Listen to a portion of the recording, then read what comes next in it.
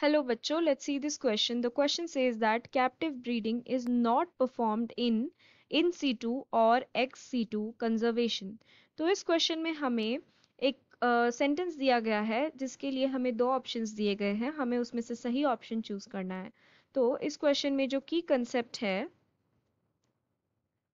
that is regarding captive breeding ठीक है तो यहाँ पे पूछा गया है कि दो टाइप के कंजर्वेशन बताए गए हैं, एक तो इन सीटू कंजर्वेशन एंड एक एक्सीटू कंजर्वेशन एंड हमें पूछा है कि इन दोनों में से किसमें कैप्टिव ब्रीडिंग परफॉर्म नहीं होती है, ठीक है? तो सबसे पहले तो हम ये देखेंगे कि what is the meaning of captive breeding ठीक है? तो जो कैप्टिव ब्रीडिंग होता है it is the process of breeding process of breeding. Animals outside their natural environment यानी कि ऐसे टाइप का ब्रीडिंग जहाँ पे एनिमल्स को हम ब्रीड करवाते हैं आउटसाइड देयर नेचुरल इन्वायरमेंट उनके नेचुरल इन्वायरमेंट में ब्रीडिंग नहीं करवाना, ठीक है? In a restricted place it is not done in their natural environment it is done in the restricted place or an area ठीक है or we can say a restricted condition such as farms zoos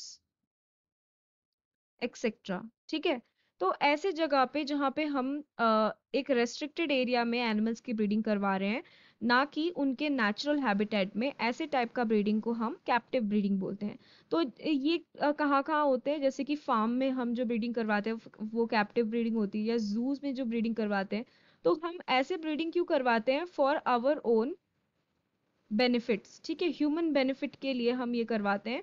for example अगर हम farm में captive breeding करवाएँ अपने तरीके से तो हम ऐसे एनिमल्स की ब्रीडिंग करवाते हैं जो हमें अच्छा ईल्ड दे, ठीक है? या फिर जो है प्रोडक्शन को इंक्रीज करवाए, ताकि हमें इकोनॉमिकली बेनिफिट हो, ठीक है?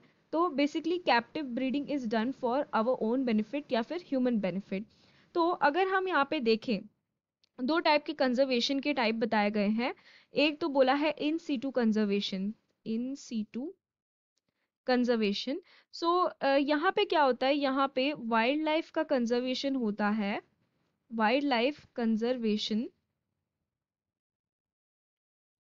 in their natural habitat ठीक है? नेचुरल हैबिटेट में कंजर्वेशन को हम बोलते हैं इन सीटू कंजर्वेशन ठीक है? फॉर एग्ज़ाम्पल नेशनल पार्क्स हो गए सेंचुरीज हो गई। लेकिन अगर दूसरे की बात करें that is the ex situ conservation तो एक्स सी टू कंजर्वेशन में क्या होता है? Conservation of diversity conservation of diversity outside